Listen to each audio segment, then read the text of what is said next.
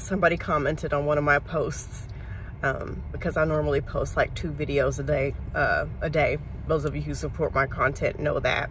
Um, and somebody commented and said, no positive content on Father's Day. And I didn't even finish the comment. I just hid them. Those of you who are familiar on YouTube, you can't block people. You can only hide them. That way they can still see your videos. They can still comment, but they're the only person who can see their comments. They're talking to themselves. And I think that's perfect for people like that. But I just want to say this. What if I didn't celebrate holidays? And now you're coming on here making this huge assumption about me. What if, what if, I'm not saying these are my actual experiences, but I'm just saying, what if I had a horrible father? And now you're coming on my page telling me what to do with my page.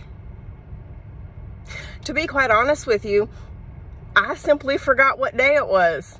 Oops, my bad. Sometimes I just forget in general what day it is because I'm actually having a productive life and doing things. I swear I'd forget it was my birthday if, if I didn't, if my kids didn't wish me happy birthday every year. I just, I, I forgot. That's all, okay? A lot of you assume that I hate men when all I'm saying is, hey, treat us better. And it should scare you that me simply saying, treat us better. These are the red flags you need to look out for is taken as me hating men. So if you want to be treated with respect, that means you hate men.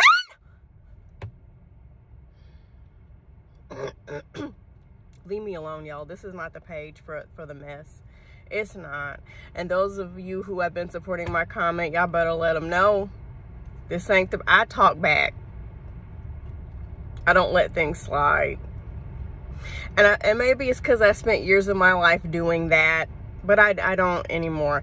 Don't come over here telling me what to do with my page, telling me what to talk, what to say, telling me what I can and cannot post, what I should not, don't, that's, this ain't the page.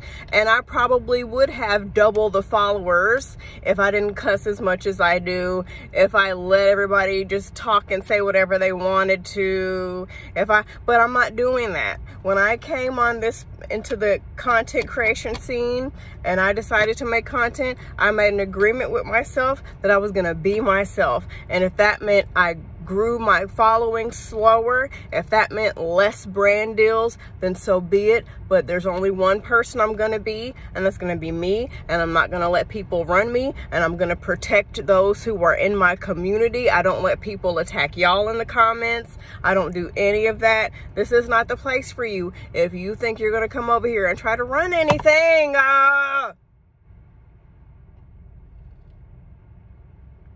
go on about your day.